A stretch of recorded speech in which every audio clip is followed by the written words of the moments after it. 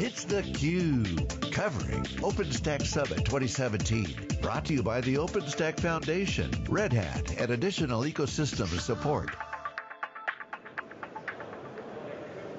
Welcome back. I'm Stu Miniman, joined by my co-host John Troyer. Happy to welcome back to the program uh, the, the two keynote MCs for the first two days, uh, Jonathan Bryce, who's the executive director, and Mark Collier, who's the COO of OpenStack Foundation. Both of you, uh, thanks so much for joining us. Yeah, thanks for having us back. Yeah, All right, great so, to be on the cube and thank you to the foundation. You know, without your guys' support, we, we couldn't do this. It's our fifth year doing the show. I remember the first year John Furrier went, they were like, hey, OpenStack's arrived, the cube's there. And now uh, it, it's part of our regular rotation. I know our community loves it. Uh, community, open source, big part of the show. Uh, I wish we had like two hours to kind of tease out all the pieces, but Mark, I got to start with you. You just did a live Q&A with Edward Snowden.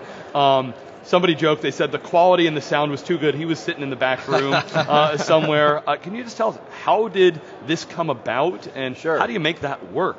Yeah, I mean, you know, pinch me. Is this is this real life? I keep keep asking myself. It yeah. seems kind of surreal, but uh, you know, just just briefly, I, a lot people have been asking, you know, how do how do we get connected with them? It's kind of a, a funny story, but basically, um, several years ago, when the whole story uh, came out about somebody from the government, from NSA, had leaked these documents, but nobody knew who it was and, uh, and I was on vacation. It was in the summer. I forget what year. I was on vacation with my family, and uh, and we were in the lobby of this hotel when we were on vacation. And I've been following the story uh, with some interest, and all of a sudden I see on the, the TV screen in the lobby of the hotel breaking news. We're about to reveal the name of the leaker. And I look up and I'm watching it with intently, and it says, you know, here it is, it's Edward Snowden. So the first thing I did is I pull up my phone, I immediately look and see if edwardsnowden.com is available. So I registered it. thinking, well, this might come in handy. Yeah. This person just became the most famous person in the world, possibly. So, I, so it was available. So I'm like, I'm furiously typing on my phone trying to register the domain. So I register the domain edwardsnowden.com. No idea what I would actually do with it. Just thinking, if it's there, you know, this name is about to become really famous. So I registered it, and uh, didn't do you know didn't do much with it. I just kind of put some some Twitter feeds on there. Just thought, well, you know, see see what what comes of this. And uh, a little while later, um, as things developed. Um, and he ended up, you know, in Russia. I, I, was contacted by, by some of his team that said, you know, we're putting together a legal defense fund. It'd be great if we could host it at edwardsnowden.com. You know, what could we buy the domain from you? And I was like, you can have it. You know, I'll donate it. I just sort of grabbed it because I figured this might come in handy someday, uh, just kind of as an impulse. And uh, and so they said, great, you know, thank you, uh, Edward thanks you. Like we're gonna we're gonna be able to use this, you know, this domain for his legal defense fund webpage and all that stuff. And so over time, I just occasionally would, would ping him and say, look, uh, you know, the, the, domain's free. You've got it. Like I want you to have it. It's not my name. I don't have any need, need, I don't have any right to this. You know, so you guys use it, but it would be great if you could come on the summit thing that we do. so this was like three or four years ago, and they, they were like, oh yeah, he, he would love to do it. You know, to thank you for, for kind of domain the, uh, donating the domain. But each time we talked, it was always like the schedule didn't line up. And so I've been literally asking him for like six or seven summits. Yeah. And this was the first time the schedule signed up. And I, I didn't tell anybody because I thought, you know, this is never going to happen and this is a pipe dream and I don't want to promise anything. So it was only just a few weeks ago that we found out, okay, the schedule's lined up, it's on. And uh, got connected from there. And, you know, he, he's obviously an open source person, has, has a lot of uh, passion behind that. We thought this is, this is pretty interesting for our audience. So, so it worked out. All right. So Jonathan, let, us reset for a second here uh, and, and, and, and, step back. Um, one of the things we love to see is the foundation is self-aware. Uh, there's always that balance when you get into yeah. is like, you know, you don't want to read the press or things like that because they don't understand what we're doing or where we're going or yeah. things like that. But in your opening keynote and throughout the show, um, we called it, it's a little bit of a reset. If, if you think about, uh, you know, where people thought OpenStack was and where it was going three years ago, it was like, oh, the Amazon this or the cheaper VMware or how yeah. that is where it is, where it's going, who's leading, who's involved, you know, the press winning and losing yeah. uh, type stuff. You guys did a good job of laying that out. So, so yeah, congrats on that. Why don't you take, take, us in a little bit and what messages sure, you guys yeah. want to get out this week? Yeah, I mean, I think uh, that that you. Uh, you're right. We are very self-aware, and and I think that some of that comes from our role. Is you know, at the foundation, we are not selling a product. You know, we don't have we don't have anything to to, to sell off the back of the truck, so to speak. So what we actually really do care about is is um, just kind of moving the, the state of the community and the technology we produce forward. The thing that's great about that is, you know, we, uh, we can look at the portfolio of technologies that we have, we can look at the things that are in the market, and, uh, and if we see a shift there, it's not like we have a $500 million line of business that, uh-oh, you know, we need to keep milking this cash cow and not, and sort of like turn a blind eye to these changes over here. And so, so I think, you know, over the last couple of years, um, I, I, talked about a shift in, in kind of what private clouds can do now and how they're built and operated. And we've seen that, and we've sort of been um, teasing that out a little bit at previous summits, whether it's demos with, uh, with, with Kubernetes or different integrations with uh, Cloud Foundry and, and other things like that.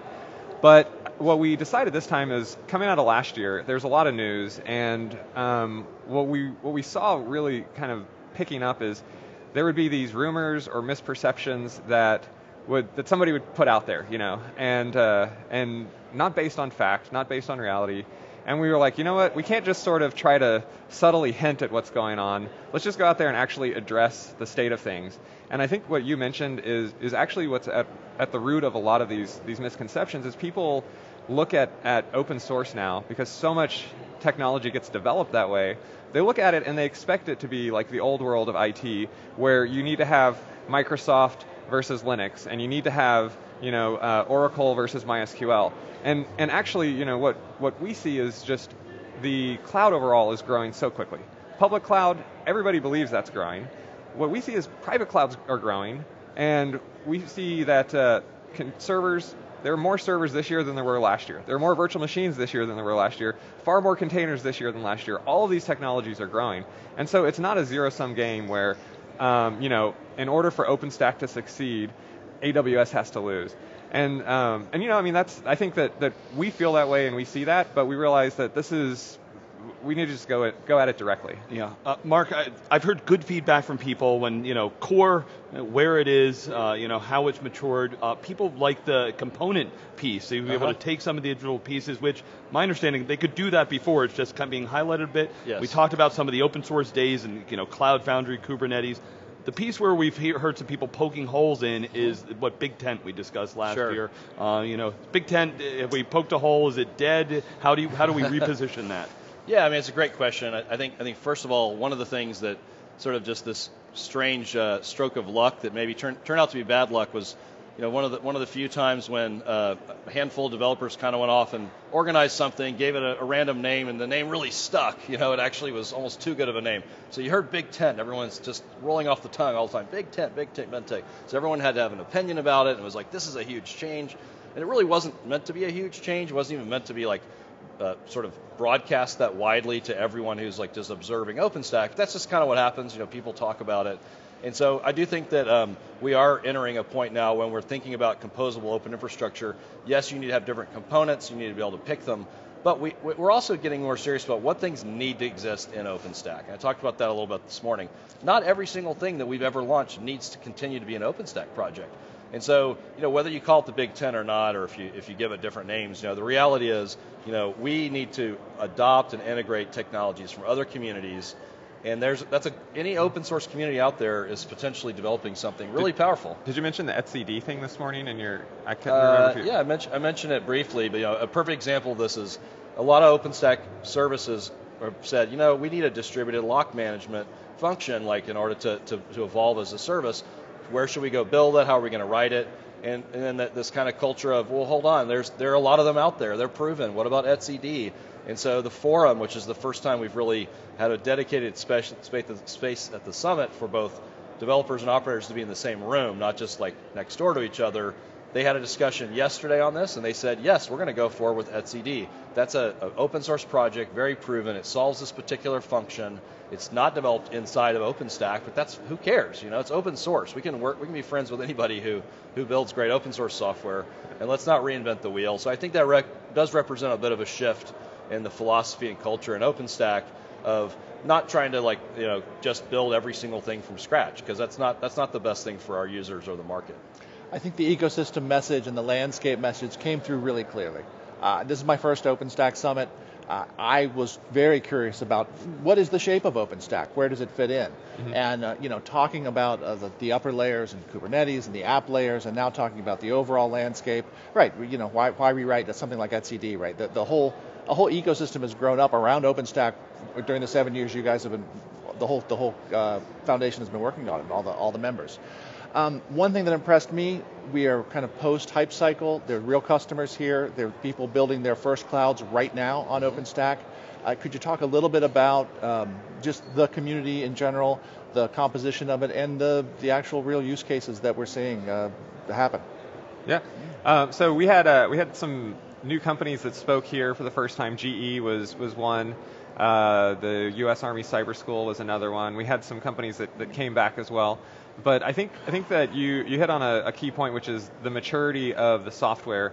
Uh, you know, a company like GE, especially in their healthcare division, this is a highly regulated uh, company. It's probably the most regulated company out there when you consider the things they do with aviation and nuclear power and healthcare and finance and all of these things. Like they don't they don't take those decisions lightly at all. Um, and so I think that is an indicator of, of that maturity. Uh, and what, what we see in the makeup of the community is, uh, is a broader set of industries than ever before. We had strong representation among IT companies um, early on and continued with that, but now we have uh, industrial companies, we have manufacturing companies like Volkswagen, BMW, you know, a number of car manufacturers, and uh, defense companies, and I think that, that that kind of plays into that. I think the other thing that, that we've seen when, when we talk about the OpenStack community and, and, the platform overall, we think of it as an ecosystem that sort of has three main parts. There's the, the users, which that's why we exist. You know, we create software for it to be used. Um, there are the developers who are doing that, and then there's the ecosystem of companies who create commercial products and services. And I think that that's actually just as important right now at the phase that we're at is is how that is also reaching maturity.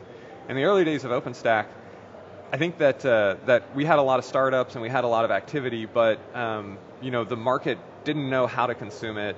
It didn't understand what it was, and uh, and I think that actually kind of scared off some companies and, and it made it a little bit more confusing. But as you get a few years into that, some of those companies succeed, some of them don't succeed, but what you arrive at is a clear understanding of what the market wants, how the products should shape up, you get companies that stop trying to build it all themselves, kind of along with the not invented here, and they partner with, with people who know how to do open source, or they you know, come up with new delivery models.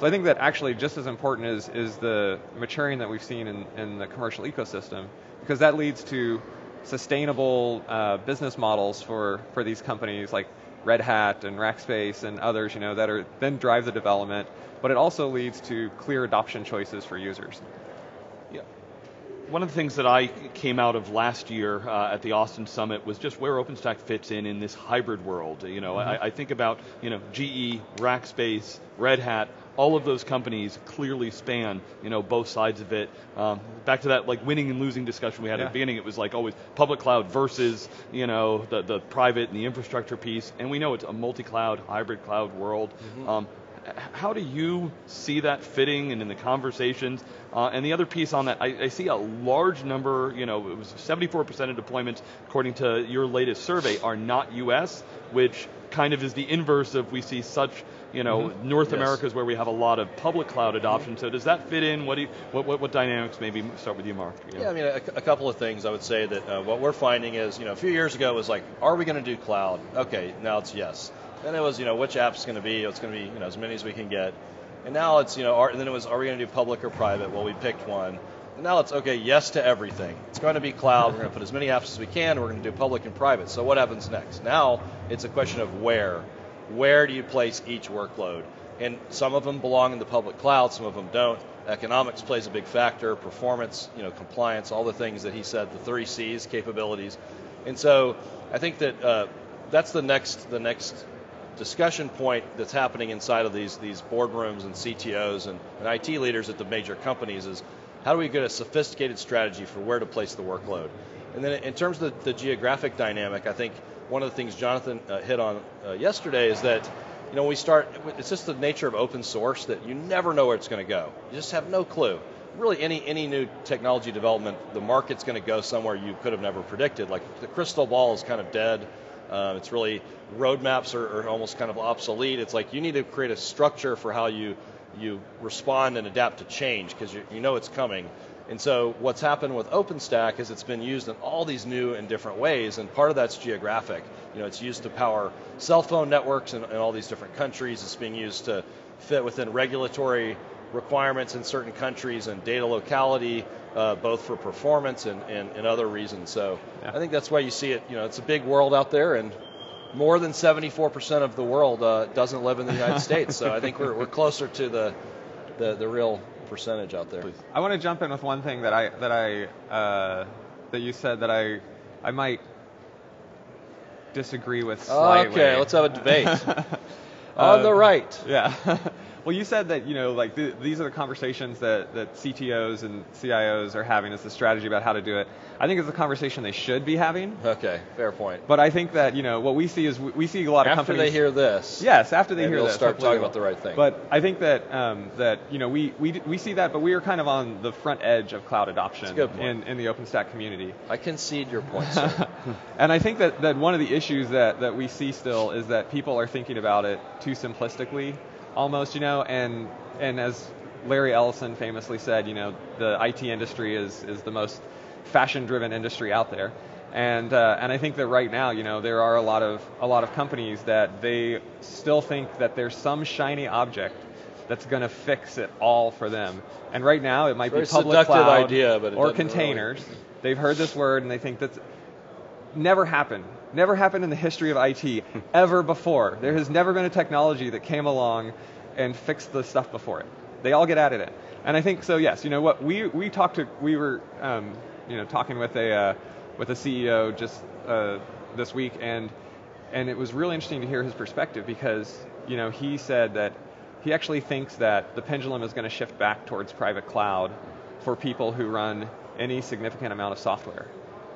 And he goes, I know that is not a popular viewpoint right now. And if I, you know, if I said that to, to most other, you know, technology C-level execs, they would probably disagree with me and go, no, cloud first containers.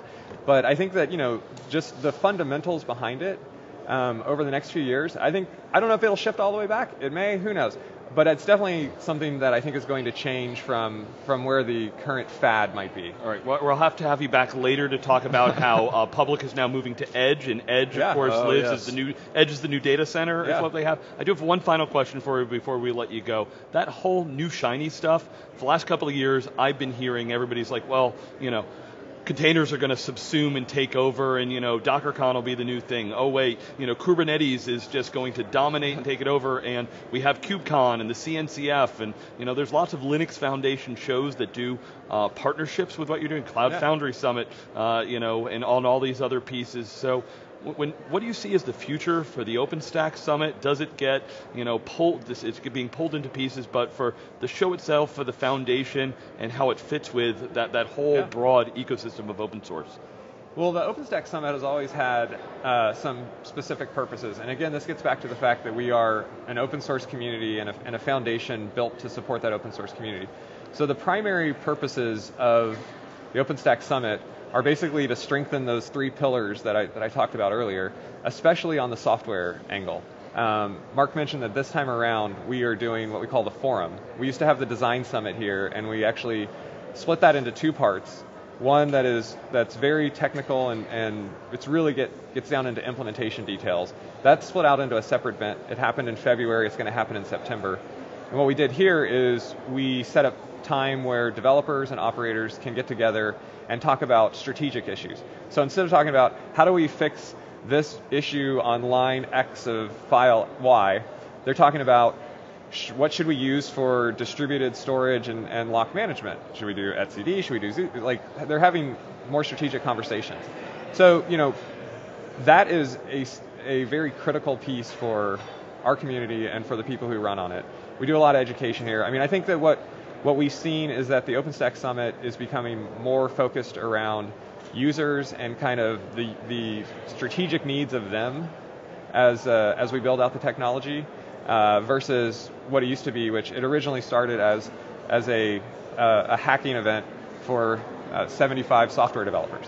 So you know that, that's where I think it's going. And and you you know just to address the other point, all of the uh, the other open source projects, um, a lot of them are here, and we go to their events because again, like we've been saying, you know, this is it's not a zero sum game. What we care about is that there are open alternatives and that they work well together.